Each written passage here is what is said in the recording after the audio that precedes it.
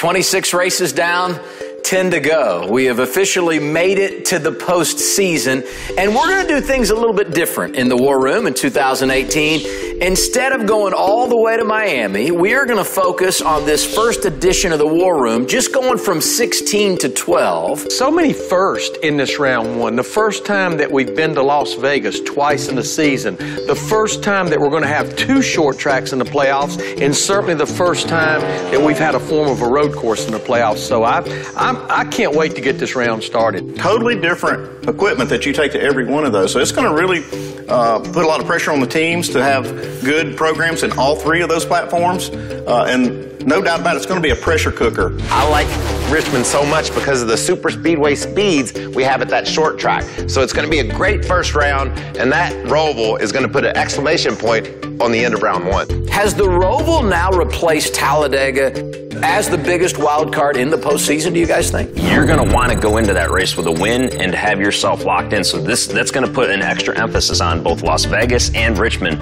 to make sure that you have that win so you don't have to worry about that. The Roval is going to give these guys a lot of heartburn it's time to start moving drivers from round one to round two. We all feel comfortable moving the 18 and 4 to the round of 12. Is that right? You don't even have to ask. Okay. Things that Kyle Busch has done during uh, certain phases of this regular season looked unbeatable, and at times Harvick looked the same way. Can we go ahead and move the, the 78 to the round of 12? Absolutely. Yeah, uh, no question. All right, there's Truex.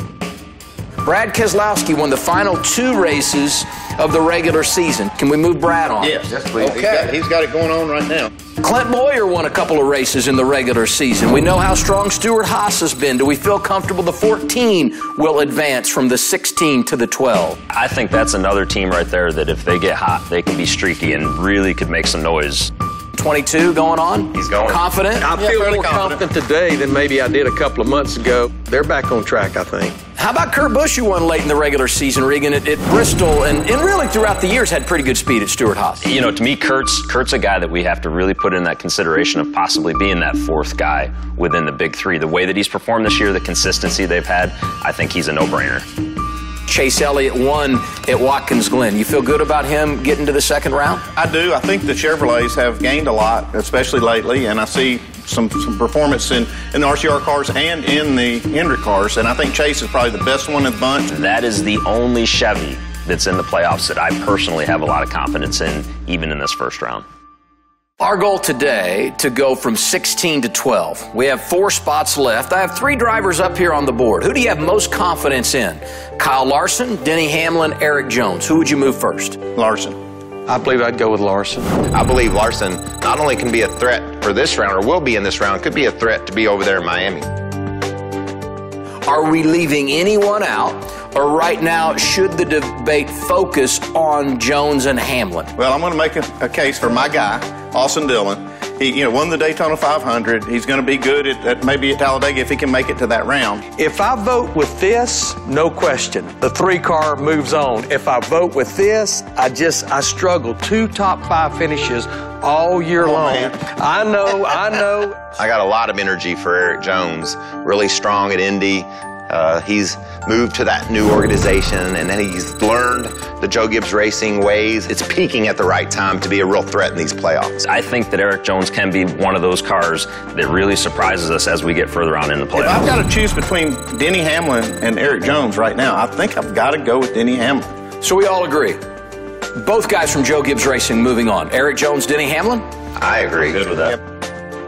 Haven't mentioned seven time champion Jimmie Johnson yet. I just can't make myself not move Jimmie Johnson and Chad Knaus. 83 wins, seven championships.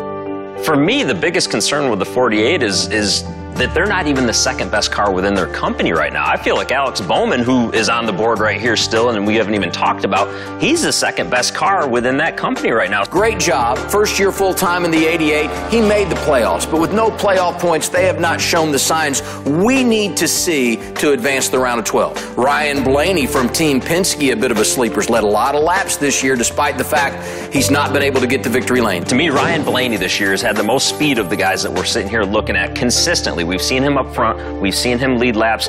I'd like picking the car with the speed that, and that's why I think Ryan Blaney gets through. Aric Almirola has still not been a part of this conversation. I'm hard pressed on Almirola. I know he's in a Ford. I know he's at Stewart Haas Racing. He has one playoff point. He has one top five finish all year long. I'm just not sure Almirola is going to move to the next round. I think just because the Stewart Haas connection, I believe that they're going to have, they're going to be really strong. I mean, they're going to be strong coming into the playoffs. I would choose him. If I had to break the tie between Almirola and Johnson, I would go the route of Aric Almirola. This guy's got no pressure, but yet he's in the playoffs and as confident as he's ever been in the history of his career. We've got it down to 12, and I'm sure that we, we missed a few, but here are the dozen drivers we say that will move to the second round of the playoffs Kevin Harvick, Kyle Busch, Truex, Keselowski, Bowyer, Logano, Kurt Busch, Chase Elliott, Kyle Larson, Erik Jones, Denny Hamlin, and Aric Almirola. That means we're sending four drivers to the house, three from the Chevy camp. Seven time champion Jimmie Johnson, his teammate Alex Bowman, the three of Austin Dillon, and the 12 of Ryan Blaney.